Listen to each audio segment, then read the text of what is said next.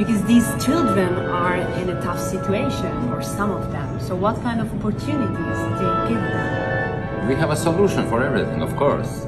Because Hauser Music Foundation will also help collecting funds for, for them, for instruments, and for anything that they need, you know, to support their careers. Yes, to do master classes, to learn from the best teachers in the world.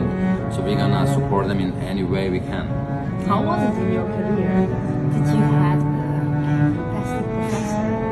Would you like to teach in the future? Oh yes, so when you're growing up, it's not easy, you know. Uh, you need a lot of funds, you know, to help you support, to go to master classes, to study with good teachers, to maybe do some exchanges with school, and it's not easy, you know. And uh, my mother was fighting very hard for me.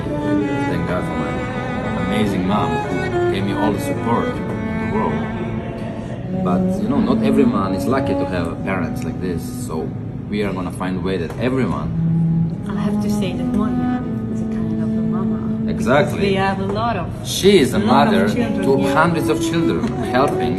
She's doing amazing things. So we want to thank you for doing this for the future of classical music. Very much. I can do it. Yes, I, I will do my best to always include some of them to different performances where they are exposed to wider audience and more and more people can hear their talents, you know. And this is my mission to, to pass it on to next generations.